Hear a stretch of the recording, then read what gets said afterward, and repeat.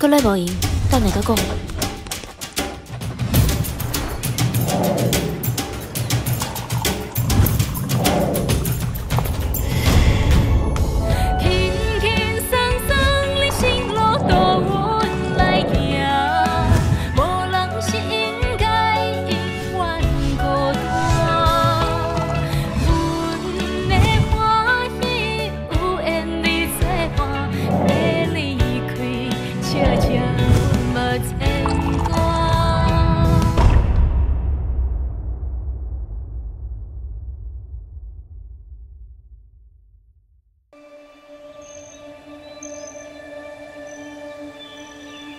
中国地理上，茶是一条与山水走向几乎重合的脉络。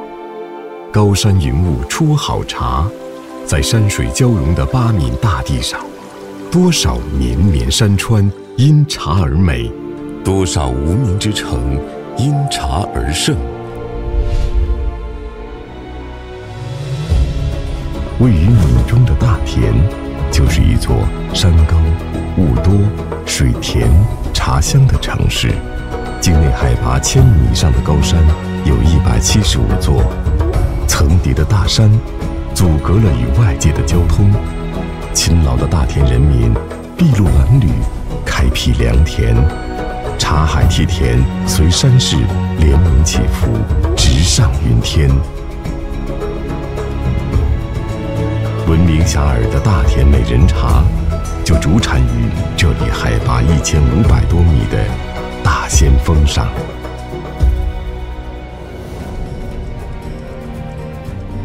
宝岛音乐人跨越海峡而来，遍访八闽大地不同茶香孕育下的茶城。跳呀跳过山哟，跳呀跳过水。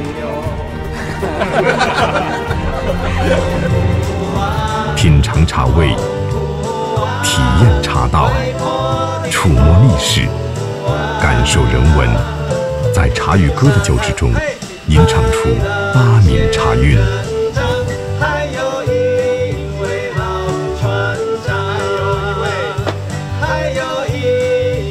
大田，我们来了。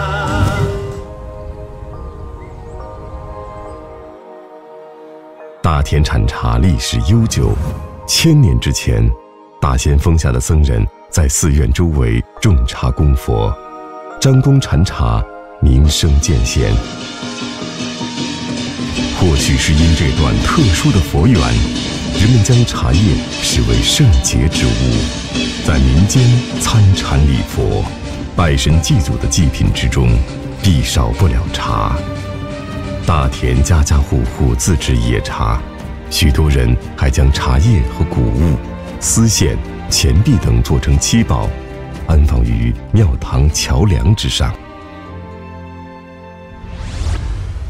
阳春村处于大田县南部山区，是张公祖师故里，也是一个产茶专业村。七月，繁忙的春茶季已经过去。深山密林中，依旧有一些痴迷野茶的村民上山采茶。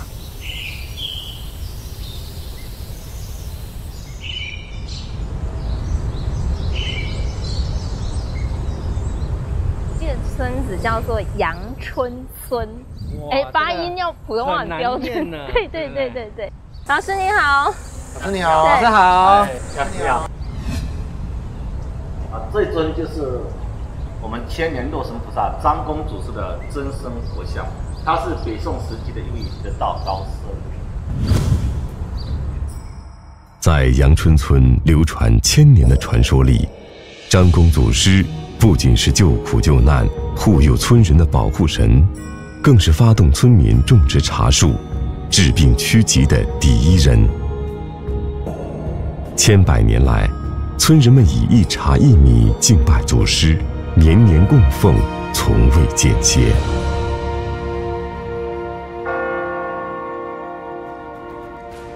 然而，一九九五年农历十月，一场庆典过后，张公祖师像突然不翼而飞。有的人是劳力重了，有的人是捶胸顿足，有的人是仰天长叹，因为谁也不敢相信，有人竟然敢把张公祖师给偷走了。在长时间的等待和搜寻无果以后，村民们对于找回张公祖师的肉身像早已不抱希望。二零一五年，消失二十年的张公祖师像，在匈牙利的一场展览上重现，被阳春村村民一眼认出。而此时，张公祖师像已归一位荷兰收藏家所有。此后，为让张公祖师像重回故土，阳春村村民们。踏上了漫长而艰难的跨国追索之路，村民们通过各种方式、各种渠道与荷兰收藏家进行协商对接，甚至远赴重洋对簿公堂。时至今日，双方仍在协商佛像返还事宜。张公祖师他的真身虽然被盗了，但是他的这个精神、他的文化还在。阳春村内的原始森林里，张公祖师留下的野生古茶树，历经千年依然挺拔。茶脉绵延成一村经济支柱和文化载体，人们以茶为媒，历尽天地山水，以茶传思，寄托着对张公归来的期盼。村民们各尽所能，矢志不渝，普照堂修葺一新。期盼着张公早日归来。有人是无行踪，有人被风笑误。热恋的风吹飘来飞去，想要到彼方岛。伊亲像一阵雨，定定无伤心凉。六月的炎天，因阮牵挂可爱无情路。风吹，风吹，风中一张被，写在梦中的相思有偌多。缘分由天空切，简单一句话，情断无相招问，阮是别人的。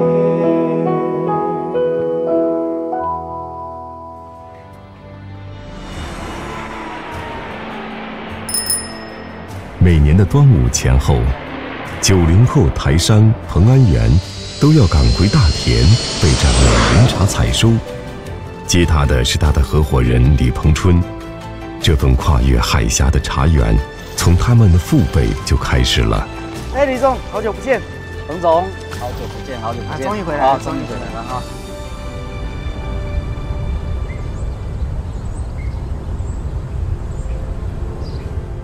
现今作为大田县主导产业的美人茶，其实来到大田不过二十多年。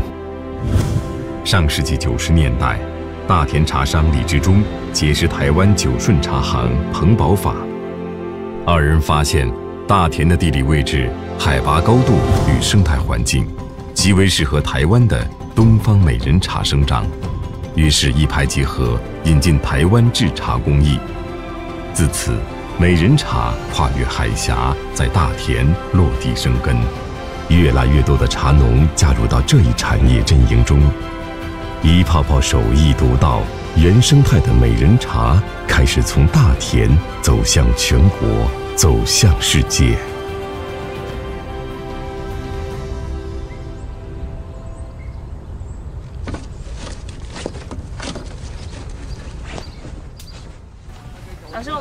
来，这个是大田比较大型的一个茶园。我知道大田的茶其实就是来自台湾的苗栗，啊，苗栗新竹一带啊。早年的时候有很多客家人在那边种茶。你们好，你们好，你好，一起来采茶来，感受一下大田这个美人茶的果蜜花香。谢谢。因为有些地方现在已经没有在采夏茶了，就这个时节为什么还在采？美人茶是这样子啊，我们的美人茶它是端午前后才会有这个小绿叶产，那小绿叶产它的高发期就是在这个季节，哦，它一定要虫子咬，咬了之后才有这种茶香。区别于其他的高山茶，大田美人茶拥有独特的蜜香，其奥秘就在眼前这不起眼的小飞虫身上。这种飞虫名叫小绿叶蝉，他们也喜欢喝茶。茶叶长成后，他们不请自来，自由穿梭在茶树枝芽间，尽情吸吮着茶叶芽汁。遗留在茶叶上的口水印记，将慢慢精美转化出蜜盐香，造就浑然天成的禅茶一味。为了保证小绿叶蝉的光临，茶园采用自然农法，不用化肥，不施农药，顺势而为，享受着自然的馈赠。你你看，我们的杂杂草是不是有的都比茶树都高？对，啊，因为。做美人茶，它需要有一个很好的生态环境，它去滋养我们的小绿叶蝉。茶农需每日观察茶叶状态，待小绿叶蝉饱食过后，就要争分夺秒，早出晚归，和时间赛跑，将鲜叶尽收囊中。那你们有没有采过我们的美人茶？没有，没有，那倒没有。哦，那我给经验，那我带你们去感受一下。你看采哦，采美人茶。是采一芽两叶，然后微黄带卷，有点硬，轻微有点硬。一芽两叶啊，一芽两对对，采这种不是很好看的，采好看的就就就不是了。懂这种茶的人会看到这样子，会觉得嗯，这应该是坏的，不要。对。但是真的懂了以后才知道，说原来伤痕越多，然后它是越好的，特别的。但往大了说，感觉就是你一定要经历风雨才能见到阳光，然后你有受过伤，你才会懂得人生的美好。哎，就像就像茶叶蛋一样。有裂痕才会入味啊！对对对对对对对对，这是阳光照进来的地方啊！对。采茶是一项技术活，美人茶茶青需手工采摘，一芽两叶。采摘完整的茶青，即便经过多道工序加工，在冲泡时，叶与芽依然会朵朵伸展开来，呈现它原本的形态。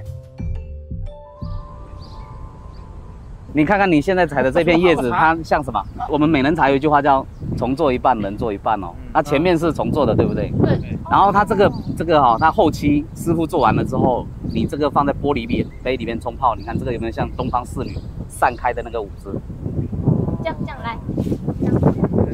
对呀，然后慢慢的往下掉啊，它也叫东方美人。茶的时候也会感觉就像在跳舞一般的。啊，对了对了对了，嗯。哇，好有诗意哦！清风拂面，阳光绚烂，美人起舞，以歌相和。茶园之上，万物和谐，各司其职，各取所需。这也许就是人与自然最完美的相处方式。红吹，红吹。中一枝花，谁人会知青春剩偌多？缘分是相欠债，简单一句话，情断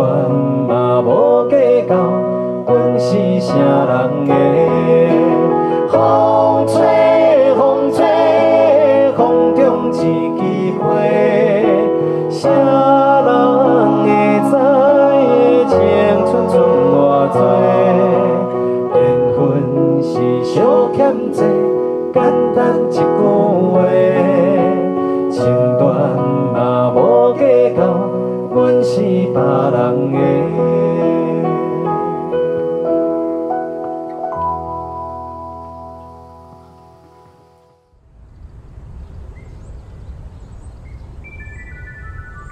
采茶只是第一步，对于茶人来说，他们的工作才刚刚开始。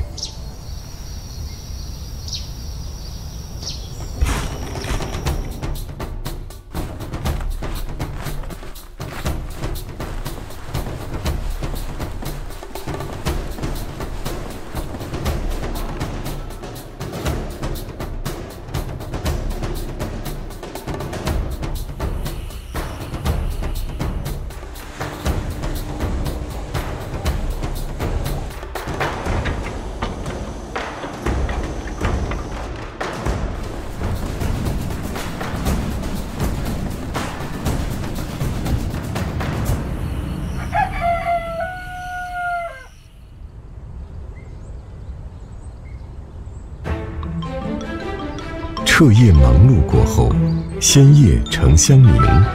此时饮上一杯新鲜出炉的美人茶，是对茶人最好的犒赏。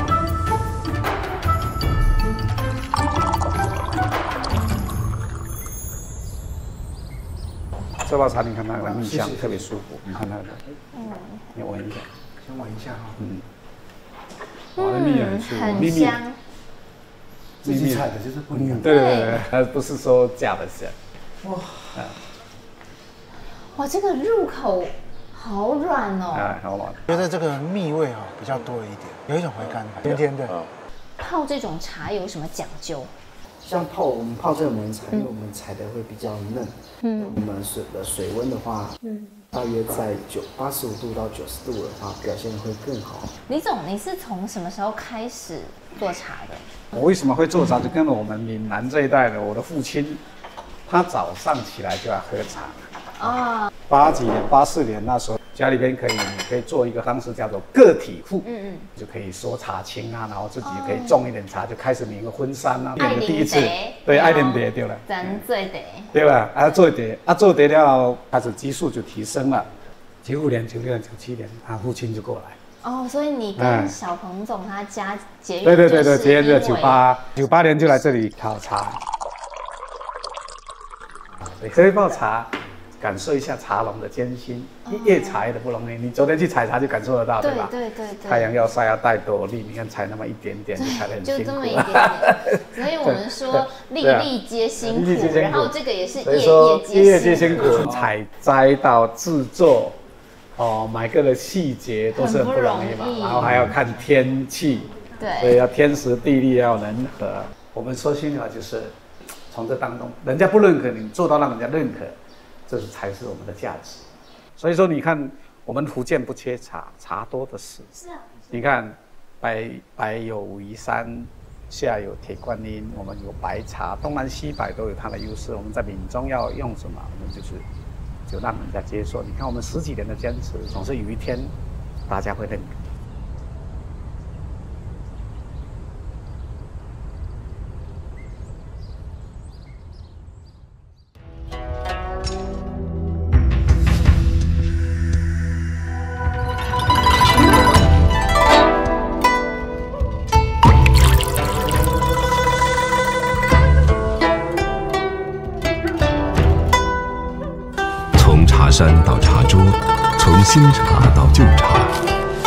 叶子演绎出千变万化的香醇芬芳。这茶香的源头是自然造化，是巧手传承，更是无数茶人数十年如一日的坚守。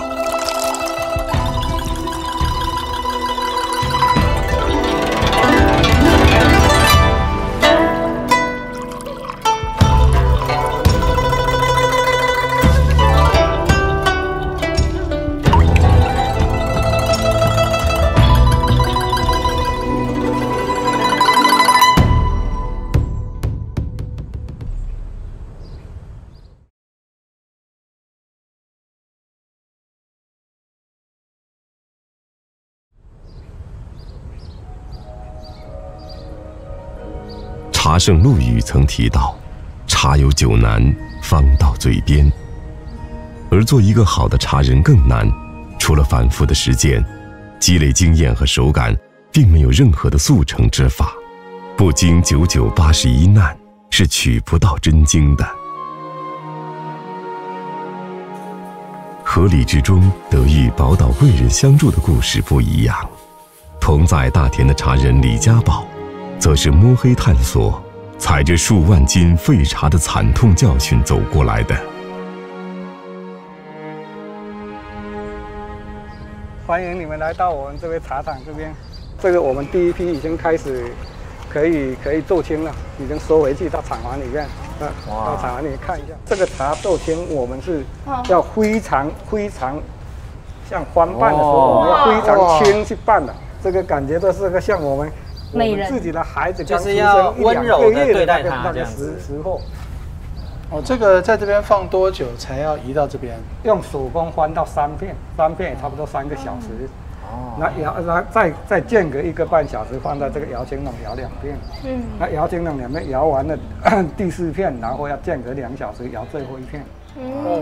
那等于做茶的人没事在那边就要等着要摇了。那要这个就是说说我们也有四五个，有分好几个班。对。所以 get 的爱五郎狗掉，就是真的像照顾新生儿一样的用心才行。所以其实真的做茶，呃，在前置作业带了很多情感在里面。对。是李家宝钻研制茶近三十年。二零零九年，他从永春来到大田承包茶山，专注生产铁观音茶。三年后，铁观音发展不乐观，恰逢大田县里大力推广美人茶产业，他顺势而为，决意转型制作美人茶。那当时花了一两百万，最终是失败了，因为工艺没跟上。由于生产工艺没跟上，数万斤美人茶卖不出去，至今仍躺在仓库里。原刚好一个按期的客商，他说几十块要不要卖？花了这么多的心血，也舍舍不得把低成本把它卖掉。嗯，如果没哭过，其实这是骗人的，确确实实也三两年。也不好过，现在想想，其实也还是会会有很很很深的那个。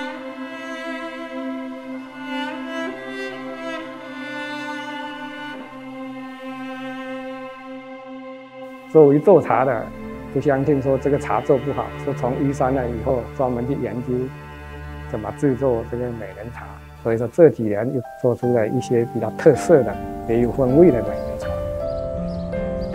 有办法撑到现在，跟我老婆其实也有很大的关系，她的支持也是分不开的。如今，李家宝已经是三明市十佳制茶大师，带动当地一百一十多位茶农和村民共同致富。回首三十年制茶之路，当中有苦有乐，有失有得，不变的是。对茶孜孜不倦的追求和妻子一如既往的支持。想想这一生为了做茶，最对不起的就是他了，没有时间找不到他。他爱做茶，我就跟他咯。刚开始不喜欢，太累了，太怕。后来慢慢跟着做了。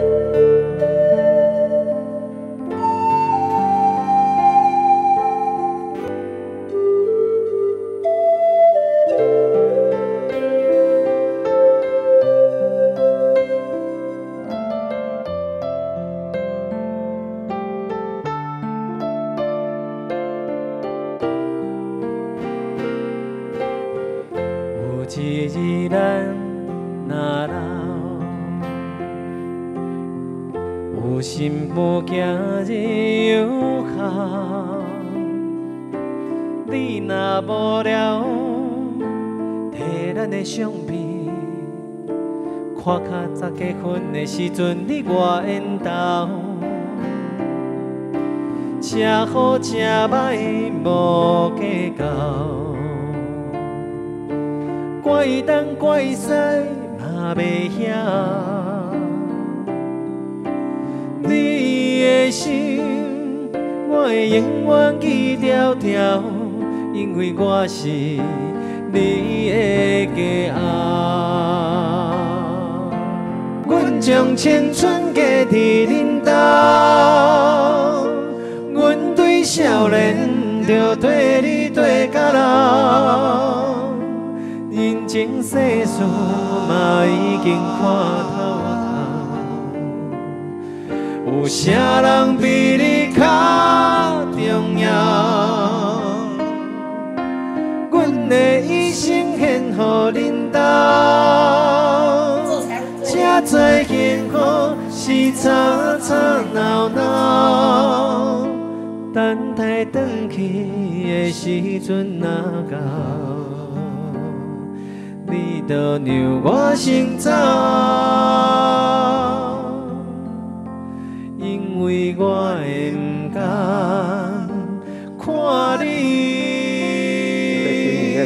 欠他的太多。感谢他这几十年来的默默陪伴，我没什么回回报他的，只能说我把做最好的茶来让他喝。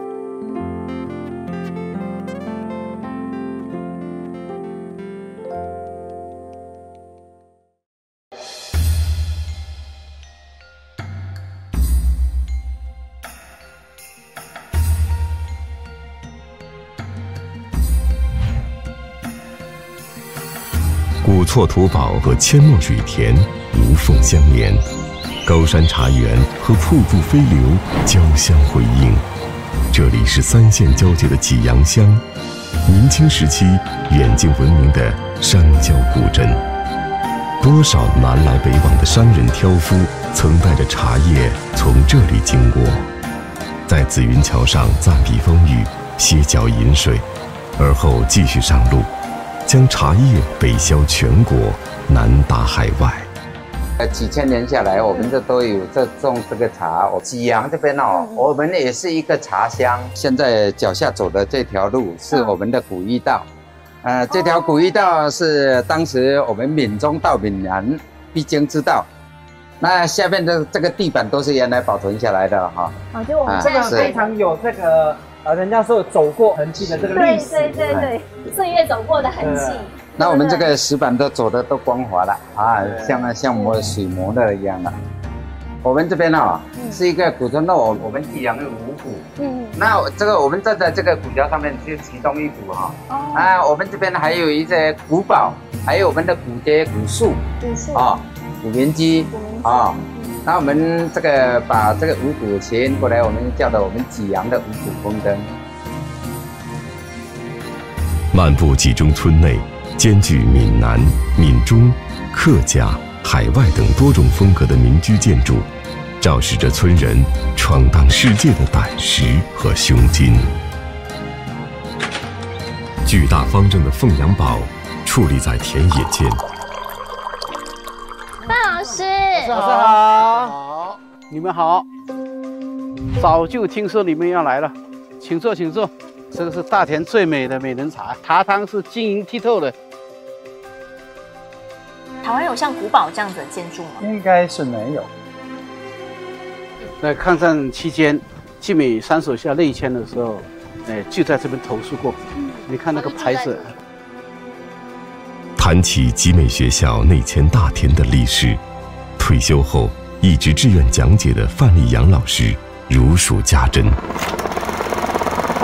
抗日战争爆发后，为保存国家文化血脉和闽南教育精华，爱国华侨领袖陈嘉庚创办的集美学校，在情急之下举校内迁，六百一十四名师生经凤阳堡过紫云桥，来到大田。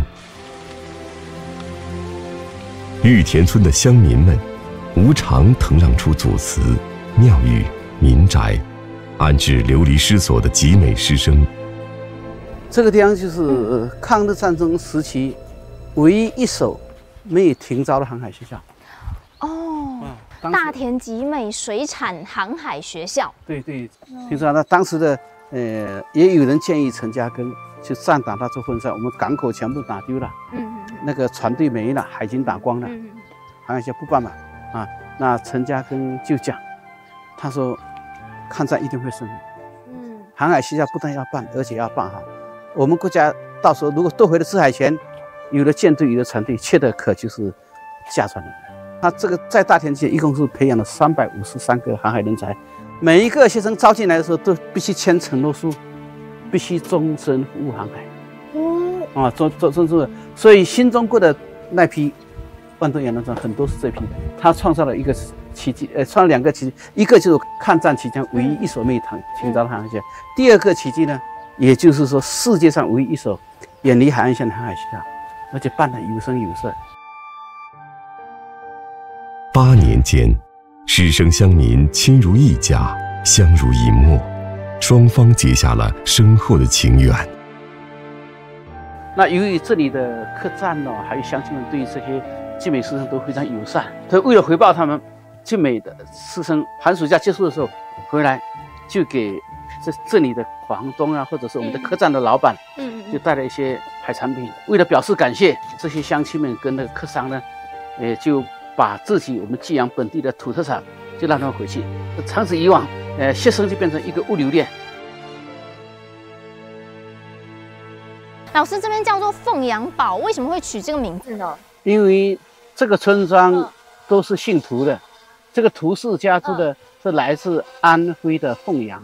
哦，所以我们就想到了一首歌，说到什么？左手锣，右手鼓，手拿着锣鼓来唱歌。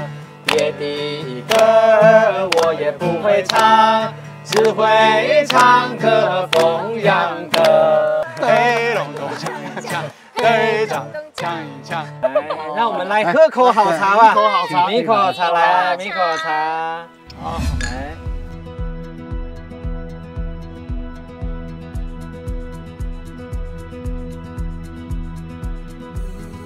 茶叶山货沿着济阳的古道运往沿海，海盐、鱼鲜等物资再由此转运回山区贩售。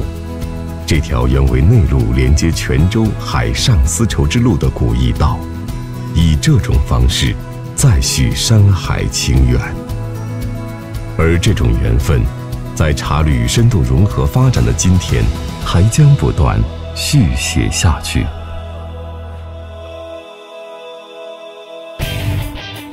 昔日藏于深山的传统村落，打响了灵动济阳文旅品牌。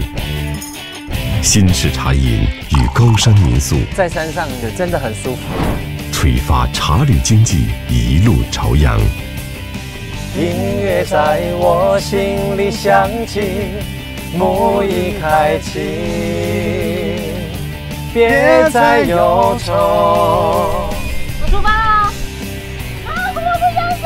万木茶园的空中索道，串起绿色发展产业链。从茶叶到茶叶，从茶园变官员。来一包这个很可爱，是小小的，这样可以吗？那个不行，你那个不行，你会出来。不行哈，失败，又失败，又失败。总算成功了。躬耕茶垄的大田茶人们，种出了一片红火的好风景。四季茶物，农忙之余闲逛集市，吃上一口软糯清香的手工麻糍。这个很像我们台湾的一种罐棍。这个是我们大田特产。哦，然后也可以做茶配。嗯，比较热，这个拿茶上。这个大田人都要娶亲了，风俗就是。里面关了一头鸭，呃，一个公鸡，叼去起亲。啃上一口原汁原味的大骨头，这就是大田人最实在的幸福。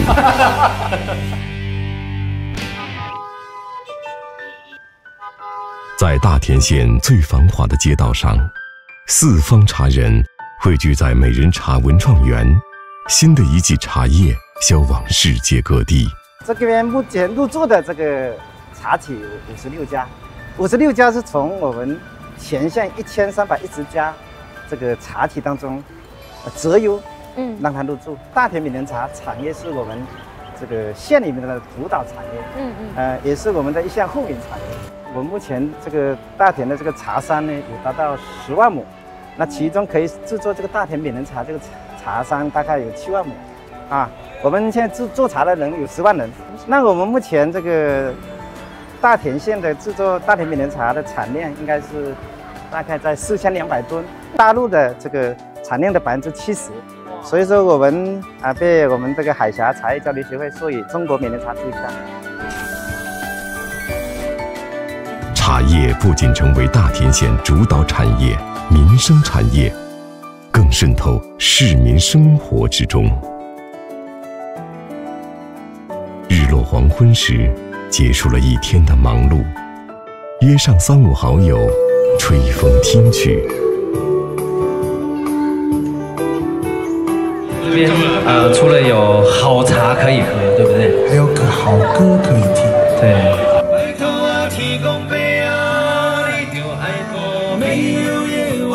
策马使命和血染，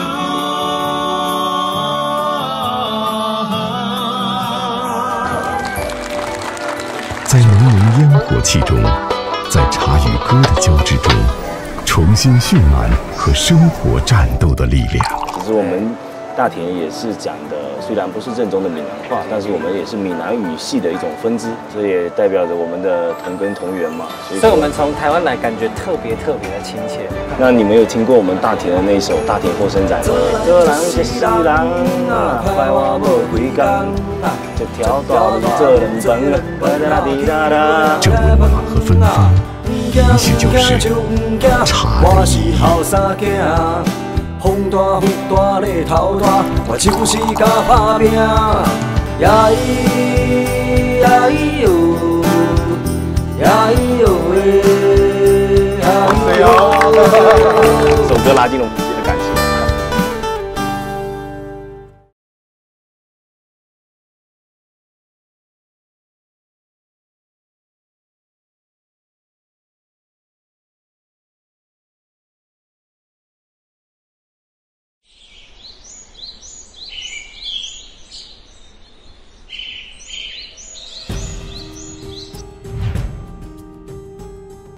身为是闽南人，来到大田就很像回到自己的家一样。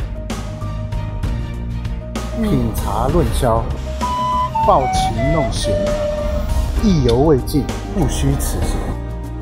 这段旅程让我看到了真实的闽南生活：山管人丁，水管财，山上有茶，啊，水边有人，啊，一片祥和的生活。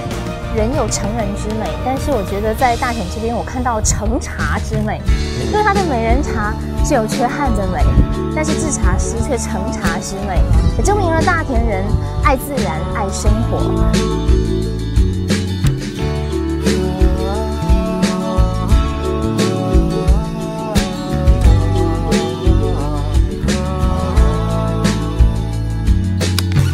路的人，请你来坐。请你来来饮一杯茶，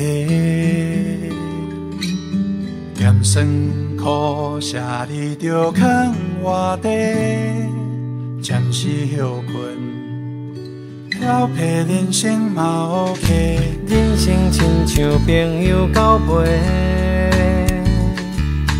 饮无饮到无关系。心情地有几个？咱是人客厅一杯，嘿，朋友大家来做伙，你饮一杯，我饮一杯，搁一嘴无较多。世间无事，日子较好过。人生是笑开，有缘到底，继续继续来相找。饮一杯茶，感谢天地。